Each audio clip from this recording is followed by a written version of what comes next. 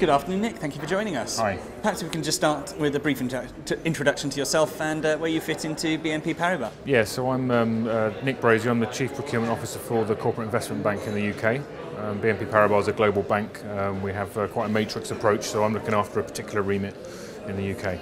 So, uh, as someone in that procurement sector, it's quite different to, to the rest of the commercial world. What are some of the particular challenges to uh, procurement in financial services? Um, well, historically, it's been buy-in really and, interest in procurement because there's a lot of money being made and, and less focus on the cost side of the business. But of course, in the last three or four years, that's, that's turned on its head, and we, we now have a lot more traction as, as a function, a lot more attention, and uh, yeah, I mean we've, we've, we've got a seat at a lot more tables than we used to. So it's, it's improved. One of the big areas of, uh, of issue for us now is risk, risk management.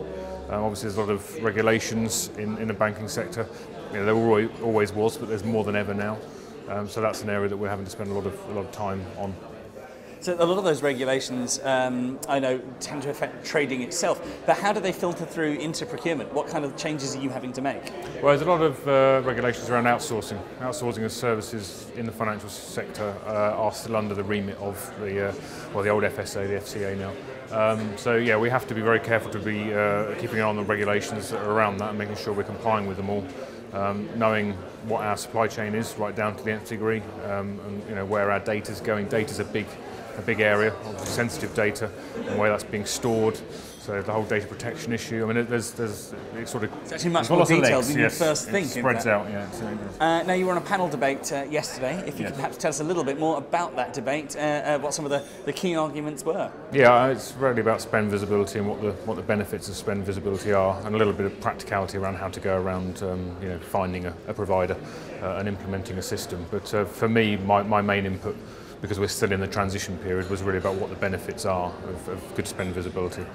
Um, and the, the, the main uh, areas that we were, we were looking at were uh, obviously being able to leverage and cost and save more cost uh, by understanding your vendor base. But there's a lot uh, going back to the risk aspect, um, being able to understand um, where your where your strategic vendors are, how much you're spending with um, conglomerations of, of companies, which is increasingly an issue now, um, and also procurement fraud is another area that spend visibility can assist you with.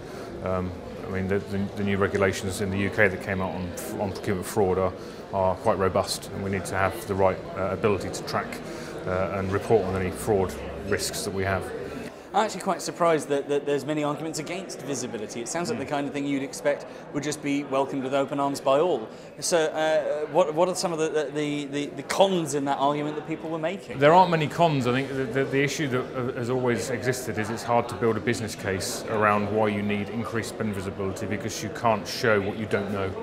So you can't actually put down on paper what it is you're not seeing at the moment. So it's it, it, it's increasingly becoming easier to get buy-in from, from the board for this kind of thing, but it's, that's always been the issue. Is you, you don't know what you don't know, so you can't show what that will gain for you. So, how did you get buy-in?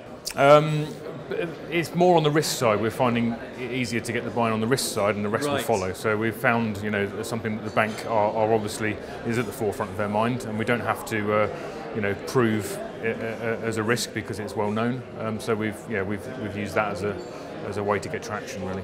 Fantastic. Thank you very much for taking the time to speak with us. It was, a real pleasure. And, of course, best luck with the rest of the project. Thanks very much. Cheers.